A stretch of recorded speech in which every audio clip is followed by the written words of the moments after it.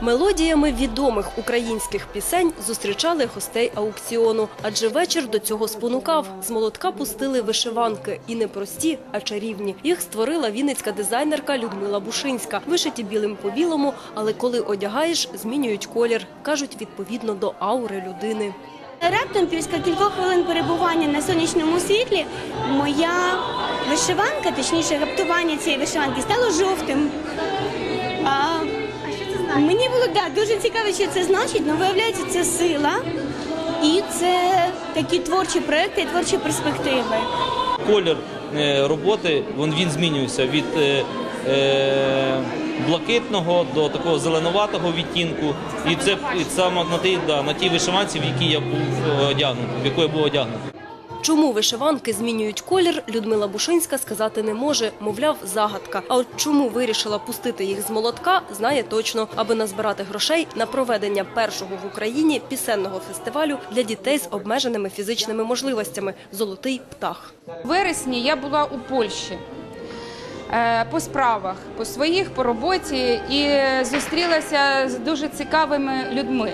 Вони бізнесмени, вони політики, і вони мають свій фонд благодійний, який вже 15 років проводить подібний фестиваль, але міжнародний. І вони проводять його у Польщі. І коли я запитала, а можливо нашим дітям, вони сказали залюбки, якщо у вас е, будуть такі діти талановиті, і ми можемо двоє, там троє дітей, молоді прийняти абсолютно безкоштовно на міжнародний фестиваль у Польщі, який проходить в липні. Тому ми дуже поспішаємо для того, щоб встигнути провести його в Україні і потім відправити дітей на цей фестиваль до Польщі. Перед початком аукціону на всіх чекав сюрприз. Чарівну вишиванку занесли до книги рекордів України. Нагороджується дизайнер теми Рута Людмила Бушинська у зв'язку з встановленням рекорду України категорія вперше. Перша в Україні створена колекція чарівна вишиванка з виробів, які змінюють колір.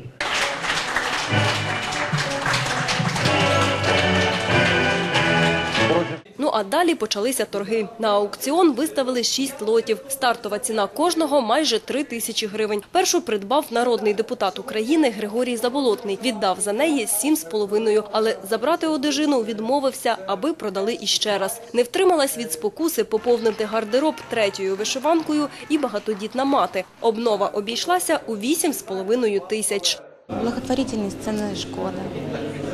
В мене самої шість шестеро дітей, тому я впевнена, що я зробила правильно. Загалом розпродали сім чарівних вишиванок. Найдорожчу купили за 10 тисяч гривень. Тепер організатори співучого конкурсу для особливих дітей шукатимуть учасників. Оксана Святенко, Володимир Гірявенко, телеканал Віта.